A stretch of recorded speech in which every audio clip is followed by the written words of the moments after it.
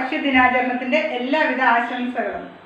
ഞാൻ ഇന്ന് ഇവിടെ തയ്യാറാക്കുന്നത് ഒരു നാടൻ വിഭവമാണ്. പച്ച ഏത്തയ്ക്ക പുഴുങ്ങിയതും കാന്താരി സമ്മന്തിയും ഉണക്കമീൻ വറുത്തതും.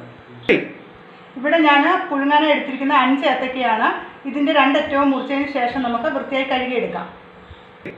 ഞാൻ കഴുകി മുറിച്ച് ഏത്തയ്ക്ക ആവശ്യത്തിന് വെള്ളവും ചേർത്ത് എടുത്തിട്ടുണ്ട്. ഇത് നമുക്ക് വേവിക്കാൻ വെക്കാം. ഏത്തയ്ക്ക വേകുമ്പോഴത്തേക്ക് നമുക്ക് ഈ മീൻ വൃത്തിയാക്കി എടുക്കാം മീൻ വൃത്തിയാക്കി എടുത്തിട്ടുണ്ട്. അതിലേക്ക് ചേർക്കാനായി മുളക് പൊടി മഞ്ഞൾപ്പൊടി കുരുമുളക് പൊടി ഇത്രയുമാണ് ഇതിൽ ചേർക്കുന്നത്. ഉപ്പ് ചേർക്കേണ്ട ആവശ്യമില്ല. ഉപ്പുള്ള മീനായിരുന്നു അതോ വെള്ളത്തിലിട്ട് ഉപ്പ് കളഞ്ഞ് എടുത്തതാണ് ഇപ്പോൾ ആവശ്യത്തിന് ഉപ്പ് ഇതിനുണ്ട് മീനിൽ അരപ്പ് ചേർത്ത് വെച്ചിരിക്കുകയാണ്. ഇത് നമുക്ക് കുറച്ച് സമയം പുറത്ത് വെച്ചതിന് ശേഷം വറുത്തെടുക്കാം.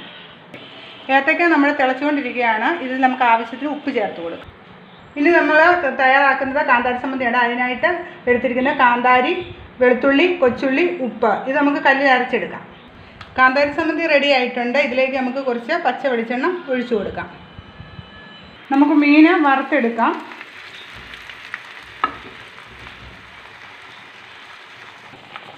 നമുക്ക് ഏത്തയ്ക്ക വെന്തോന്ന് നോക്കാം. വെന്തിട്ടുണ്ട്. ഇതിന്റെ തൊലിയൊക്കെ ഇളകി വന്നിട്ടുണ്ട്. നമുക്കിതിന്റെ വെള്ളം കളഞ്ഞ് ഊറ്റിയെടുക്കാം.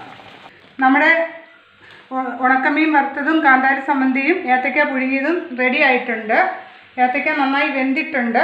നല്ല ചൂടാണിപ്പോൾ. നല്ല വെന്ത് നല്ല സോഫ്റ്റായിട്ട് വെന്തു.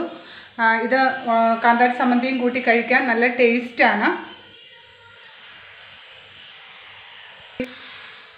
ഇത് ആരോഗ്യപ്രദമായ ഒരു നാടൻ വിഭവമാണ്. ആർക്കും എളുപ്പത്തിൽ ഉണ്ടാക്കാൻ സാധിക്കും. ഡയബറ്റിക്കും കൊളസ്ട്രോളും പോലെ അസുഖമുള്ള ആൾക്കാർക്ക് വളരെ നല്ലതാണ്. പച്ച ഏത്തയ്ക്ക പുഴുങ്ങിയതും കാന്താരി സമ്മന്തിയും ഇനി പ്രഷർ പോലെ അസുഖമുള്ള ആൾക്കാരാണെങ്കിൽ ഈ ഉണക്കമീൻ ഒഴിവാക്കാവുന്നതുമാണ്. പച്ച ഏത്തയ്ക്ക പുഴുങ്ങിയതിന്റെ കൂടെ ചൂടോടുകൂടി തന്നെ ഈ പച്ച ഏത്തയ്ക്കയുടെ കൂടെ കാന്താരി സമ്മന്തിയും കൂട്ടി വേണമെങ്കിലും കഴിച്ചാലും നല്ല ടേസ്റ്റാണ്. എല്ലാവരും ഈ വിഭവം ഉണ്ടാക്കി നോക്കണം. നല്ല ടേസ്റ്റുമാണ് നല്ല ആരോഗ്യപ്രദവുമായ ഒരു വിഭവമാണ് ഇത്. Okay thank